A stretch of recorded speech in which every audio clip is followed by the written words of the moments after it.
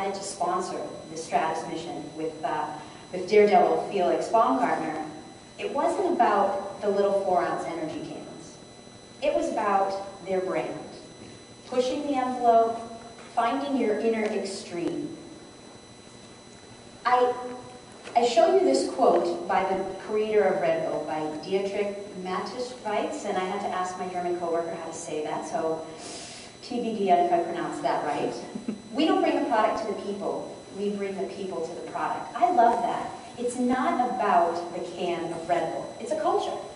It's a generational thing. And if you think about what you're doing with your sponsors, with your attendees, and make it more about embracing a culture and an experience, I guarantee you your partnerships will be just as successful as this. Maybe not on that level yet, but it's a great bird's eye view of it. Look at their webpage for Red Bull. Does anybody even see a can on there? I really, I just feel that that innovative way is the way that we should be thinking about our partnerships. And that result of that video had 8 million YouTube hits and do you know that they didn't spend a single penny with a media marketing agency on that? That was purely word of mouth. Why? Because the people that align themselves with Red Bull are their own generation, are their own culture. And they're going to utilize that can of energy drink secondary to that. That's a product of that. So let's talk about the importance of sponsorships. Contributing to the success of your event, both financially and through in-kind services. They really do help you to lay the foundation to building a successful event. And they are relationships. Remember that. Your best sponsors are people that you have a partnership with. They're people that you should be growing with year after year. And really, when you hit the sweet spot of the partnership, it's when you both benefit from one another and the events that you're producing. They have a goal to target your audience, or maybe some marketing exposure to them, and you have a goal to create a successful event. But you can't do it without the other. So when you start to approach that, think about it that way. So who am I? I know I said I'm Susie Prue. Uh, I work as the Senior Sales Account Executive at VDA Productions. And for those of you who don't know VDA, we are a 3D experiential marketing agency and a full-service event production company. So we really create the 3D visualize, visualization of a brand. And then, of course, support it with all of the lighting, the theme decor, the branded staging, the audio-visual pieces in an effort to do that. I'm also a newly married lady, uh, about a year and a half. I'm Italian, so I do this with my hands a lot. So you kind of see me or I end up throwing this at you. It's not in malice. It's just kind of me being animated. Uh, I'm from New England, so anybody here from New England, I'd love a shout out at the end. And then I'm going to talk a little of what really my background is for today's discussion, is my involvement with associations. ISES, MPI. Anybody involved with ISES at all? A member? Yeah, love that. Anybody MPI member, PCMA, involved in association. So I started at ISES as the director of membership a few years back, but now I work with MPI as the director of operations. And, the, and the, last year, I was the director of sponsorship. So I dealt with the cash financial sponsorships for the chapter, as well as the in-kind contributions, which are venues, vendors, people looking to showcase their product and services. So that's really what we're going to pretty much talk about today. The battle between planner and sponsor. It doesn't have to be this epic. how many of you, I, I can't tell you how often I have planners come to me saying, you know, I really love producing this event, but my sponsor's feeling that they want everything from me. They keep asking me for this, they keep asking me for that, and I can't promise that. And the sponsors will come to me and say, you know, I just don't feel valued. Feel like I'm working in this organization and I'm not getting anything out of it. I don't feel like the planners really want me there or really want me to succeed. And I'm here to tell you that that no longer needs to happen. It needs to be a mutual conversation that the two of you have together. And hopefully, I'll give you some points to take home today. So what are we going to discuss? Top bullet points for today. The vision and mission of the meeting. What's your goal? Before you even think about approaching a sponsor, you need to put together the goals of your event. How are you going to measure the success of that? Keeping the balance, that's a big one today. So we're going to talk about setting expectations and realistic expectations, how we're going to approach the sponsors, and we'll talk about some partnership that, partnerships that worked and why they worked creating a living and breathing sponsorship document. Anybody here have a sponsorship guide that they work with? Yeah, I love it. Raise your hand high. I want to see that. Do you, do you find it successful for you? That's a nice kind of. We do um, one whole like year year long sponsorship packet that we send out to people and they can pick and choose. But I feel like people get lost in that. So we also follow up with individual like just specific event Specific. brochures as well. Perfect. I we love do that. an agreement, you know, if we do get a sponsor. I love that because you've actually tied in a piece that a lot of people don't do. They focus just on specific events. But when you're targeting annual sponsors, it's important to kind of lay out the entire groundwork for the year. So what else are you doing? What else can they be involved in? So I love that. So we're going to talk today about building that shell and what it should include and why. And then, of course, we're going to get to some fun stuff. Social media, yay! I love it. Tweets, hashtags, good stuff. Woo! Right? so um, I will bring up somebody to talk a little bit more about that too later on. So moving forward, that's the truth. I don't want to hear myself speak.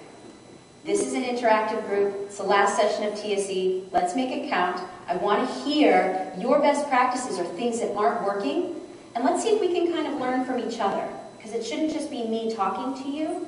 You all have good things that have happened and maybe not so good things have happened, and we're going to try to fix that going forward. I don't know that lady on the left, but I love that picture. And that is me on the right, just kind of being grumpy. So I thought that it was fun to kind of include a little, a little picture of me growing up. so let's talk about those goals. There can be multiple. How are you measuring the success of your event? Is it attendees? Are you a small event or group and you're looking to grow each year? how many dollars raised? Are you, any of you incorporate a fundraising element into your events? Love it. Love it. Live auctions, silent auctions, those types of things. Anything really fun that worked? Go I did a wine pool this year. I work for a nonprofit, um, so we had a wine pool and we sold 200 bottles at $25 a ticket. I love that. Yeah, Booze is great. Booze is great. People love it. Awesome. And, and you got something, it was a takeaway, regardless of, um, I mean, the quality of the wine was different, but, Yep. you know, some got a $100 value, some got a $9 value, but yeah, Wonderful. And it worked. and it worked. And your attendees felt like they were, They loved they were feeling it? Yeah, Now, did you have a wine sponsor? yes, So not only did the attendees benefit from it, but your sponsor did too. yep, because we put like little um, tags on each of the bottles that has the logo, and then we did big signage over Awesome. That's great. Really fun. That actually is a great segue to my next point. Whatever works for your event in generating money, can you find a way to tie your sponsor into that? It's something to think about. Let's say your, your demographic is 25-year-olds. A good key piece of that might be the bar tying into your wine piece.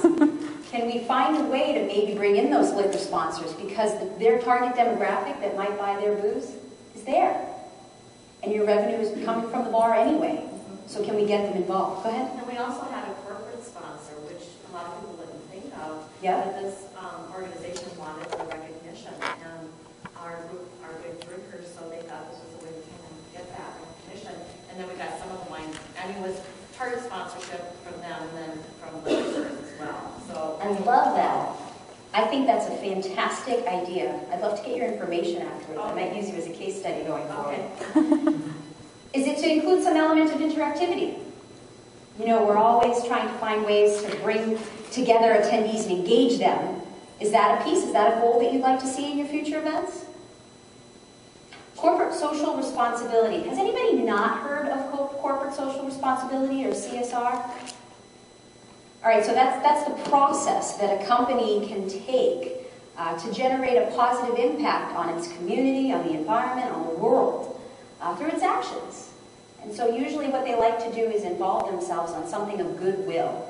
And it's a great piece to make your attendees feel like they're giving back to something and your sponsors as well. Talking about a charity involvement. Do any of your fundraising or benefits of your events benefit children? In that case, tie in the children. Bring the children to the event. When you're thinking about what you're doing, incorporate teddy bears, teddy bear sponsors. Even better, find somebody who's interested in donating the teddy bear shell and have your attendees build teddy bears. Get them involved. Let them know who they're impacting. It creates a much better emotional tie to the success of your event. Think about food differently. Ice cream, toys, any of that. I understand sometimes it's for an adult atmosphere, but think about how you want to position your event, especially if it's benefiting a charity. Going back to the emotional connection, share stories. You need to find a way to not only get your attendees, but your sponsors to want to be part of it. It's not about what they're donating or what they're giving you or the dollar amount necessarily. It's about how can they connect with your attendees and the event as a whole. So for this example, if you are benefiting veterans or our men and women overseas, bring them, or any of them that are home, bring their families. Who are you impacting? To tie in the interactive element, maybe there's a, an iPod station that showcases videos of our men and women talking about how you're impacting. Care packages. This is great for sponsors because almost anything can go into them. Even have your attendees build them on site. Let them know that they're contributing to somebody specific. And the sponsorships can be endless with that. Socks and beef jerky were the most requested pieces for our veterans overseas. I did one of these once, and that's what they really wanted more than anything. So just fun little tidbit for that. Going back to interactivity. Are you showcasing a product at your events? Are you launching a new product or service? Find a way to get your attendees engaged in that. So don't just talk about it like, I have this new product here. I love Samsung Galaxy because if anybody's seen them in the stores and in the malls now, It's not about just buy our phone. Even Apple started this. It's come in, experience what you're going to play with. Open up the iPad, open up the iPhone, touch it. How do you like the way the music sounds? Do you like the way the keys feel? Everybody's feeling it and experiencing it. So that might be one of your goals. Build upon existing framework. You know, we talked about growing your event. If you have a small event, you want to make it bigger. What about introducing media? Are we trying to get more advertising? It's not just always about the attendee size, but we want to grow it in a bunch of different ways. So think about that. Don't be afraid. Going back to this real quick. If something doesn't work, don't continue doing it. I can't tell you how many times people always say, well, we've, we've just always done it that way. Uh, well, that's just always how we've had bar, and that's always how we've done our seating. No, get that out of your brains. Be innovative. Be different. Think. Challenge yourself and challenge your event. Your attendees will appreciate it, and your sponsors will want to get involved because you're doing that. So the social media footprint. Felix Baumgartner. He got a lot of likes after that big jump of 128,000 feet. But maybe you're looking to introduce this element to your events. Hashtags, tweets, Facebook, any of the above.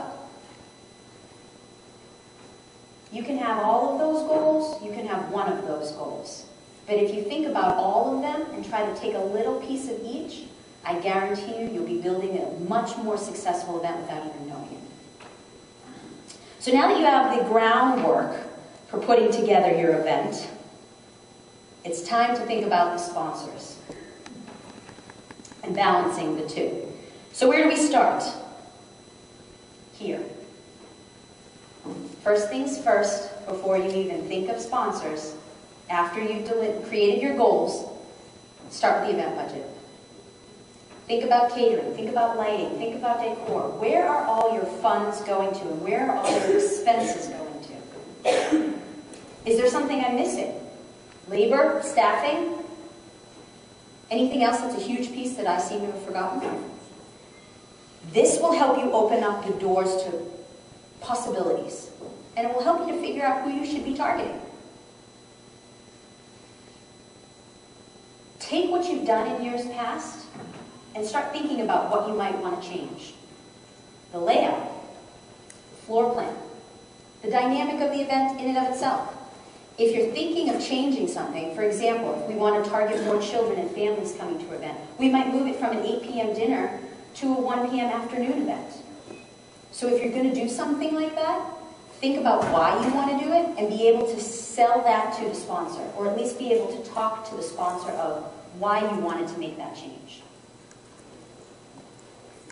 Know who's coming to your event. I can't even tell you how important knowing and understanding demographics are. You should know the average amount of people that come, plus how old they are, maybe even what income bracket they fall in, male, female, any of that. So that's a key piece. Gather that information before you start to approach people. In addition to that, walk the event as an attendee. I call it an attendee walkthrough. Sometimes us, we, we as planners, we go through it thinking on our level. Like, yep, registration's going to be here. Yep, everybody's going to come walk through here, and then we're going to have dinner, and it's going to be seated. And sometimes you need to take that step back and walk through it as an attendee. So I encourage you to start to think about that as you're moving forward too. Once you know your demographic and your target audiences, you can start to find sponsors that are targeting the same audience. That's a huge key. If your event, for example, is essentially male, 60 years old, average income, you can find sponsorships in golf resorts, maybe Rogaine, something fun. Uh, something along those lines, but you don't necessarily want to target the toy makers for that specific event. So once you understand and grasp who your target audience is, that's going to be a huge jumping off point for when you're starting to go out there and market yourselves to sponsors. Cash versus in-kind. Does anybody have more of one than the other? Yeah, you in the back. You have more people willing to volunteer and less cash? Is that it? I'm more in kind. Perfect. Yeah, That, especially with this economy. Talk about our next topic. The sponsorship document. I am so glad, I'm sorry, to hear that people actually have them because I can't tell you how sometimes I talk about this sponsorship document and people say, I don't, I don't even know what that is and I don't know how to build one of those and it's scary and I don't really want to do it. Well, I'm here to tell you that it's necessary and it's key because it will help to convey the importance of your event your sponsors. So where do we start? I am highlighting the MPI New England sponsorship template because I helped create it. So I thought it would be fun to highlight that. And we'll kind of walk through some things that I think works with it. And maybe you guys have some changes that you think it should maybe, and if you have a personal piece, you know, your document at home has a little bit of this, please share that. I'd love to know how we can always make this better. So the cover page. Number one thing you should always include throughout this entire document is pictures. Find a way to showcase to your sponsors people having fun at your event, people participating.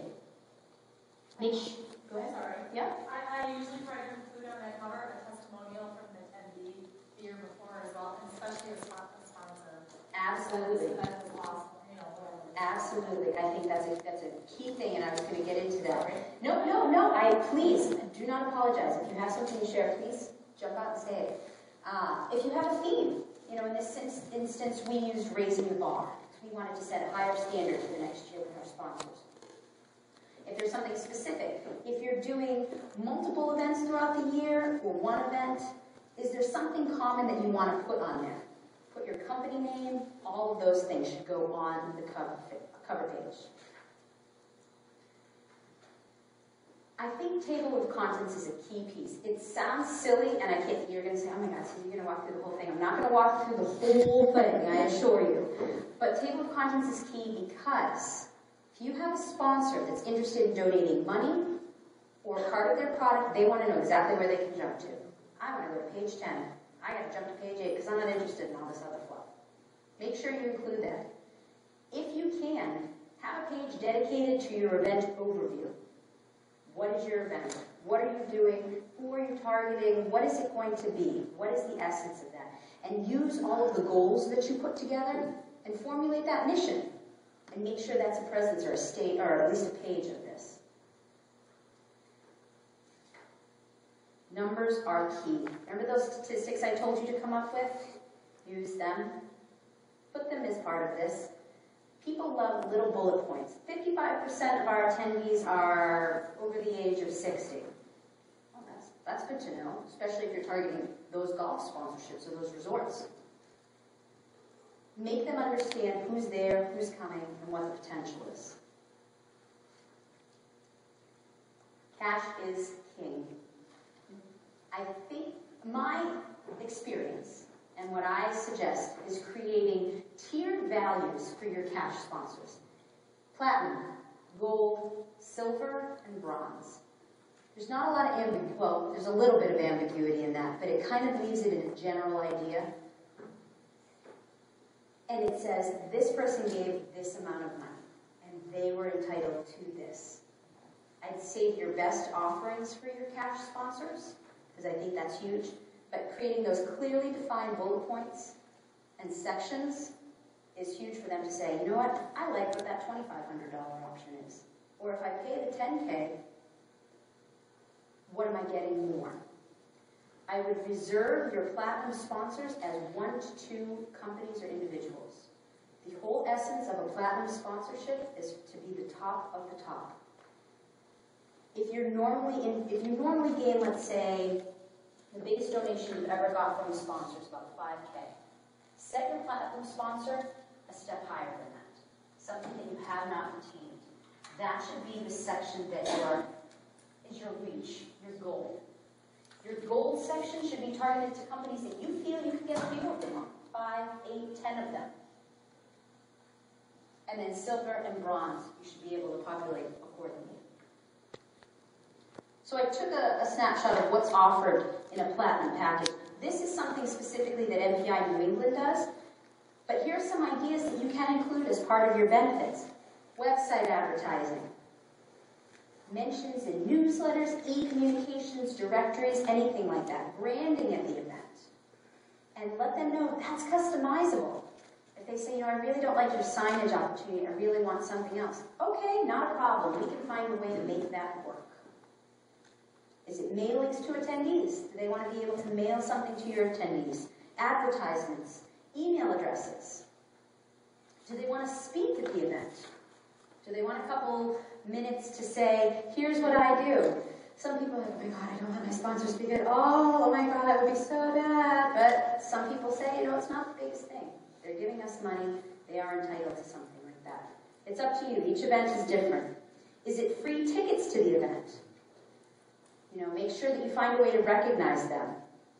Can you utilize a percentage of their dollars for something specific, like a volunteer reception, hospitality area, registration? The sponsors that are giving you cash are going to, most times, want to know where that cash is going. So be ready to have some conversations of where you think you can throw some dollars to. When you think about in-kind sponsorships, you can use the same offerings you give to cash, but I will say it, and I know I get a lot of negative feedback with this. In-kind sponsorships is not the same as a cash sponsorship. It's just not. I don't care if your product is valued at $25,000 worth of stuff, and it's a great, great product. It's not the same as giving me a check for 25K. It's just not. And your sponsors, while I wouldn't go touting that to them, there needs to be a difference between the two. And it's okay that there is one. Even if that's a media sponsorship? Can you go into a little more So, detail? um, I, I was going, say I was going to buy ten thousand dollars worth of ads in the Chicago Tribune anyway, Mhm. and they, I talked with them and they gave me an in-kind media sponsorship. So in that case, isn't it kind of? the In that same case, thing? it would be, but I'm talking about if you're saying, I'm giving you twenty-five thousand dollars worth of food for this event, while needed and hugely wonderful, and I can give you a great list of benefits, sometimes it's worth separating the two, because if they say, well, I didn't get the same thing that that platinum sponsorship, and my thing was worth twenty-five thousand dollars, and that platinum sponsor that paid twenty-five thousand dollars gets X, X, X, and X. It's a reality. And it's, to me, it's important to say that. You didn't write a check out, they did. It's not to say, if they're not getting the value, then that needs to be a continuous conversation that you have with them and say, if you're not feeling the value for this donation, we need to work on that and make sure you feel that. But it's not the same as cash. And I think that's a huge Why? I I mean, if it's a product that you would have paid cash for, like if it's something that you need for the event and you would pay for it, why would that not be valued? Most of the events don't go into raising cash for it to just literally fund their event. It's going into something else in their organization. If they're benefiting a charity, if they're benefiting themselves, whatever it might be, the cash absolutely has a higher value. The event in a, in a, in an in-kind situation has a value, but, and I know I get a lot of negative pushback on it, but it's just, it's not the same. They're helping you in one specific instance, doing what they do, and it's their product that they're, that they're showcasing. It's not specifically the same as writing a check. Think about it. Most people would rather get cash of 25K than an in-kind contribution.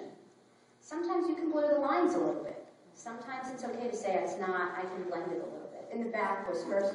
Well, I mean, a cash sponsorship is, I mean, that's the, that's the value. If someone is giving you a twenty-five thousand dollar, you know, food, that didn't cost that vendor twenty-five thousand dollars. Exactly. So it really is a higher value and should be recognized. Exactly. Uh, Did you have another question for Steve? Yeah. Well, I was just going to support your, your uh, thoughts here, and that I came from the media in the past, worked in that, and, you know, you run uh, specials and packages each month, but when you're, when you're working with trade, you know, they're getting the, you know, rack rate, if you will, for Exactly. that package, which is normally about 40% higher than you would have been able to purchase it for. Of the market, because it's not costing them twenty-five thousand dollars to Right. produce that.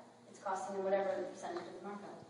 I think a key thing to understand when you're doing any kind of donation versus cash is if, if you're looking for sponsors to raise money for a charity, say for you know, children's services, I I can't take twenty-five thousand dollars worth of catered food and help children's service. I can take twenty-five thousand dollars and help children's service. I, I can agree with that, I understand, but for example, if, um, you know, you need to raise money to pay for overhead for that organization, you've got rent, utilities and everything else, payroll, um, and let's say you go after a a utility company as a sponsor, how is that any different? Yeah, I- The utility company Right. is, you're paying for that as an. It's a good point, and some people, and it, it's true, because some people say, I feel the need to give, if it's a twenty-five thousand dollar catering sponsorship, I need to give the same to my twenty-five thousand dollar cash fund. I don't recommend that. I think that there's, there's an importance that, for the most part, people accept and believe, but I, I have been wrong in those situations before. Yeah, comment? I, uh, I work on the corporate side, but I also am on the board of a lot of nonprofits. And a lot of what we do as a company, sometimes when we can't support all cash, is do a combination of both. And I think that's where it lies within your relationship with your sponsor to say, what can you realistically do? And as far as, while there is merit to in kind, I think sometimes another good thing to have a conversation about is, well, what would be the cost of your labor? Because sometimes that's really all they care about. If the owner's going to give the actual asset, but they're worried about the people are going staff that are working, Great that's a different conversation. Absolutely, great point. And again, all of these are just conversations. You need to be able to talk to each of them differently. And if they negotiate a little bit better, if some companies say, I want a little bit more than this, and their value of what they're giving is more valuable to you, you have to, that's business. And this is a business. You're generating revenue, sponsors, whatever it might be. So find a way to make money at it. So, I mean, it's just certain things to think about. But again, this should all be conversations with your individual sponsors. A la carte benefits. This is a huge piece to include in your sponsorship document. If you can let the, this goes back to kind of people that are, this goes back to your point, ma'am, when you're talking about like, well, I want to make sure that my in-kind people feel like they're getting just as much love. If you put out in-kind bullet points and say, you know what, this isn't costing me money, and let them build their own proposal, they feel like they have the power. They feel like they're getting the, the benefits that they want. I don't really care about attendance at the event. I don't want to go, but I do really want that website advertising that you're going to me. So can I get that for longer? Instead of nine months, can you offer it for a year, maybe two years? So think about that. Let them choose it. And piggybacking on that, let them know what's customizable. You know, I know that you have signage over the bar that you like to do, and that's awesome. But I was thinking I could bring in this interactive thing that when I come in, people order their drinks, and I do this little thing on the iPad, and then they can enter in their email address and give it to them. If it's something you feel comfortable with. But if they have some ideas that they'd like to bring as part of the event, I absolutely encourage those conversations. Let them do the work for you if there's something specific that obviously doesn't, you know, hurt your event mission. Go ahead. In this case, you specify the amount of sponsorship that you need, and they will build their own sponsorship package, or how? how- They do. So in, this case, in the in-kind, we'll usually say, we're looking for a production sponsor. We're looking for an annual sponsor. We're looking for, well, annual sponsor would probably fall more in the cash category, but production, audio-visual. We're looking for uh, a linen sponsor, a signage sponsor, something that is specifically tangible to what somebody can provide. And it doesn't get blurred in with platinum or bronze or silver, because those have specific dollar amounts attached because this person can value, their signage sponsorship as 50 grand, and this person can value their signage opportunity as 10K. Well, which is it, and how do you decide?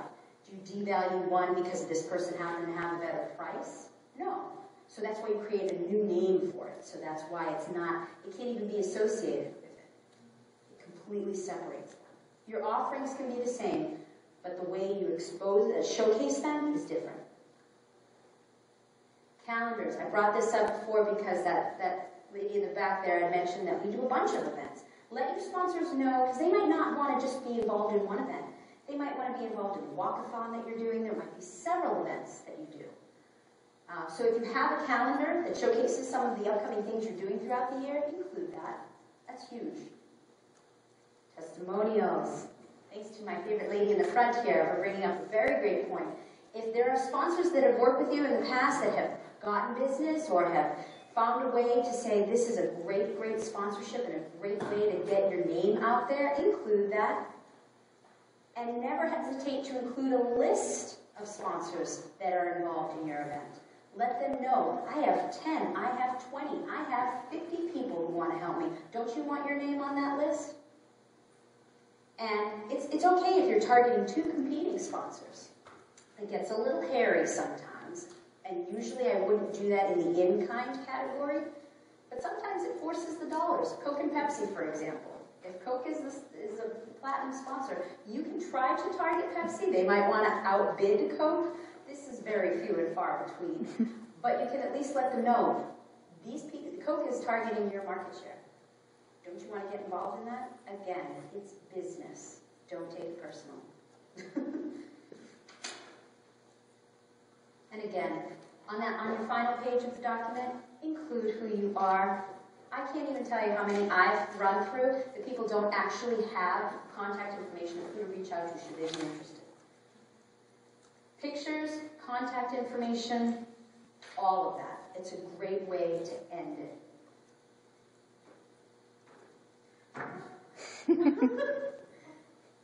I loved her. that was a little tacky, maybe a little risque for a session, but I thought advertising is not to be confused with sponsorship. So we've talked a little bit about advertising and how we tie that into a lot of our sponsorships.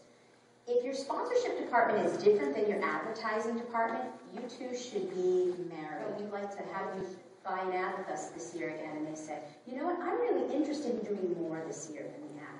How about if I give a little bit more money, could I get my name on the bar? Could I do something specific for the opening reception, whatever it might be? You need to make sure that those advertising people know who to contact in your sponsorship department. And likewise, if you're a sponsor, or if you're working with a sponsorship, and they no longer want to be involved on a high level, but they want to find a way to still be involved, you still want their money, you still want to make sure that you get some kind of contribution from them. So if they're interested in just doing an ad, you say, absolutely, I can point you right in the direction of our advertising salesperson, or whoever that might be. So make sure that you're on the same page with that, so you're not both making calls to the same company, because that's embarrassing. You don't want to be over, and you don't want to duplicate your efforts. So both of you should be able to talk to both. Be creative. I know everybody's trying to find the new, most innovative way to showcase their sponsors, and not everybody has that element of creativity. Um, but it wouldn't be TSE if I didn't find it. Talk about a great vendor that I've had a chance to connect with. Uh, I found Monster Media, and what they do is specifically work with sponsors. They're a full service media company, and they specialize in digital advertising. So they develop these innovative ways for people to showcase showcase their sponsors, which I thought was so cool. So if you have some dollars that you can throw to that, or some cash sponsors, I want to talk you through a couple, a couple videos that they have. This next video that you'll see, I haven't started it yet. Monster Media was working with Travelers Insurance, you know, the red umbrella, and Travelers wanted to get in front of the attendees attending the Nutcracker Ballet in New York City. They said, that's a market that I feel like I want to get in front of. Knowing that the demographic attending the ballet were children and a lot of their parents, they created the Land of Sweets, which was an interactive wall display that uh, people could come up and touch all of the red umbrellas, all of the red travels umbrellas, and they turned into nutcracker characters, sweets, whatever it might be. But it was a brand message. It was something to tie in their brand in a different level. So here you can see how it was executed.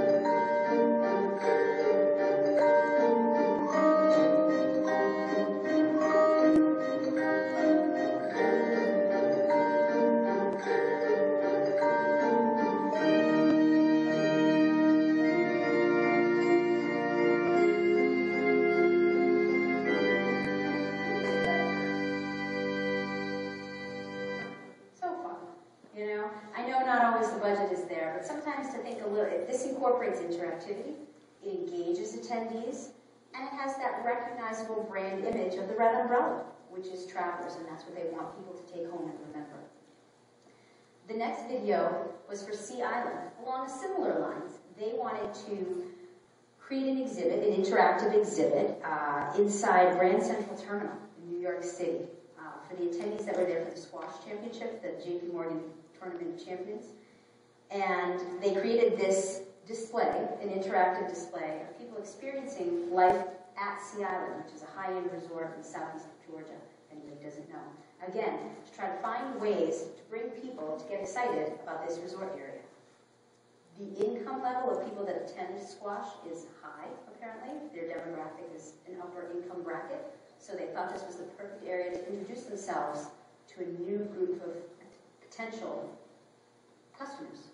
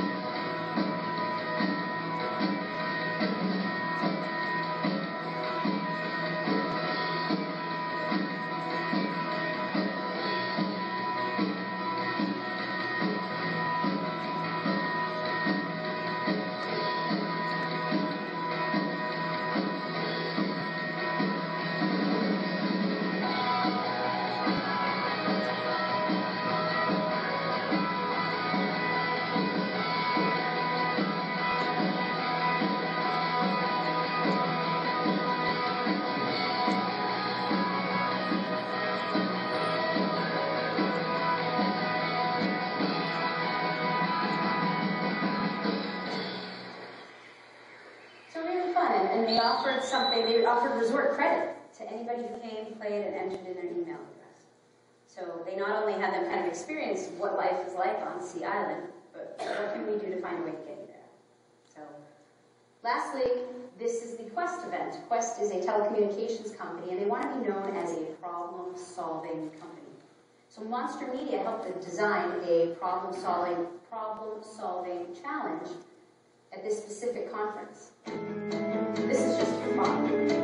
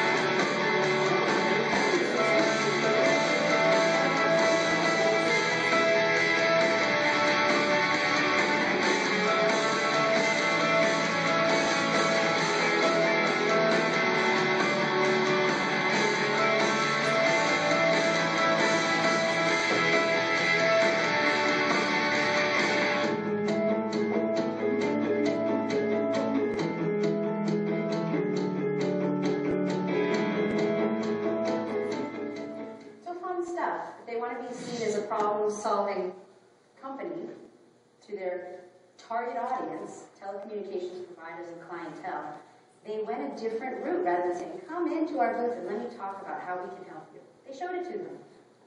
We can help you solve problems. It was different. It was fun. Again, tap your resources. It's huge. I talked about the ISES examples. I talked about MPI. Everybody has asked for sponsorships and everybody's participated in sponsorships. Talk to people who've done this before. Get their expertise.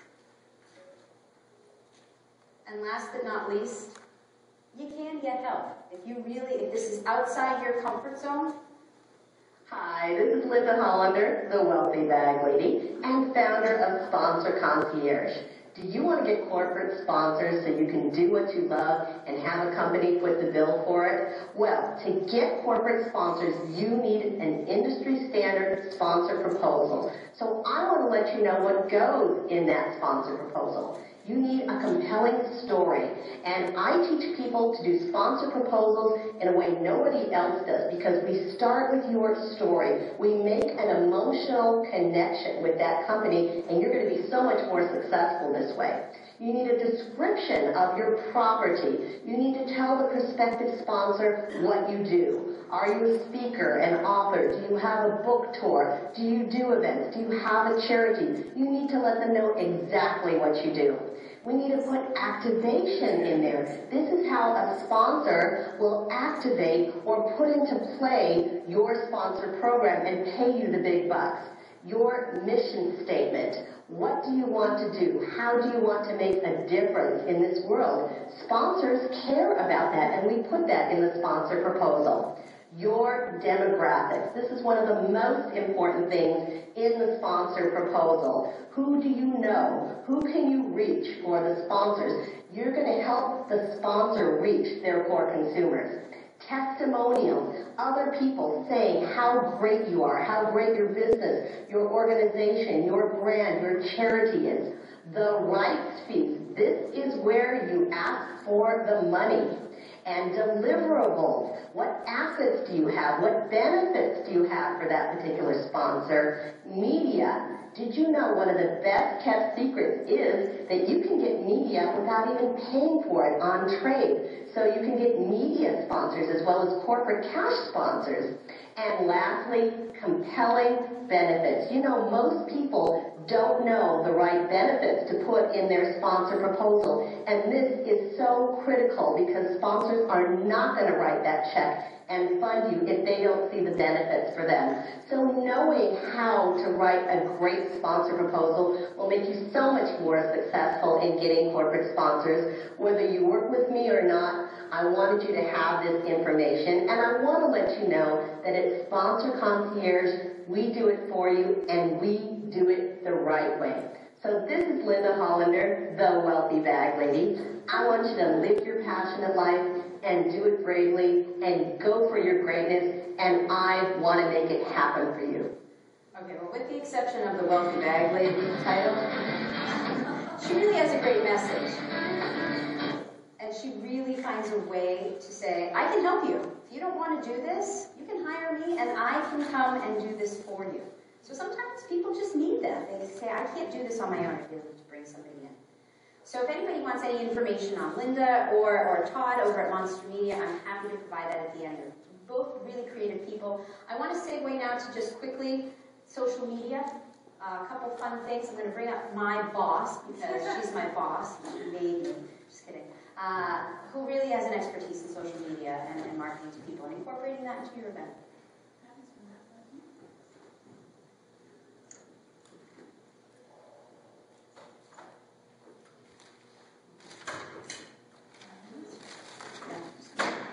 Everybody hear me? Okay. So um, it's the end of the session here, and I just want to touch base a little bit about social media. Know you've probably all been inundated with social media, social media all week. It's a big topic. There's a lot to cover, and I'm not going to uh, cover everything. I just want to touch on a few points that mean something now, which are poignant now. Um, who am I?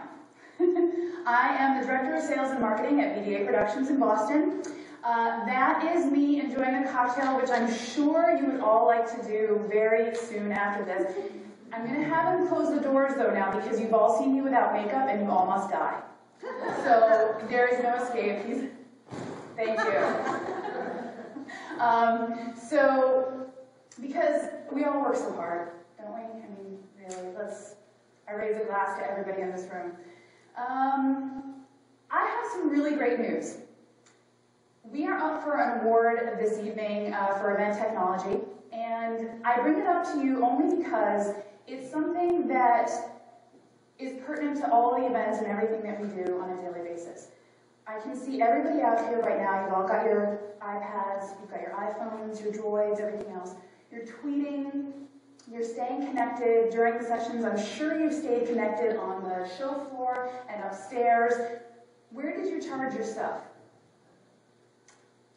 Right? Can you see any plugs in this room? There's one right over there. There's one right here. I saw a lady last night at the Search Foundation. Did everybody go to the Search Foundation event last night? She came over, she plugged it in wherever she could, she threw her phone on the floor, and she's like, hey, how are you? How's it going? It was a great way to meet people, don't get me wrong. It was like, hey, great, how are you? um, but she threw it on the floor, and she had to stand there and wait.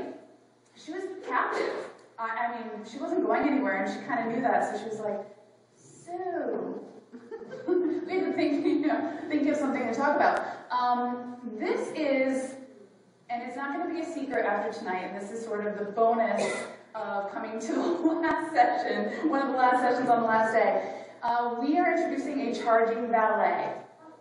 And the reason I bring this up, I know, we're very excited about it. Uh, you know how you got your badge scanned on the way in? We're going to zap it. You're going to give me, you're going to entrust these people with your um, smartphone, your smart technology. You are going to get a ticket, like you would waiting for your table, and I bring everything back to food, by the way. So, food, food, food. You're going to put your smartphone or your device, and they're going to take it, they're going to put it in a cubby with the appropriate connection.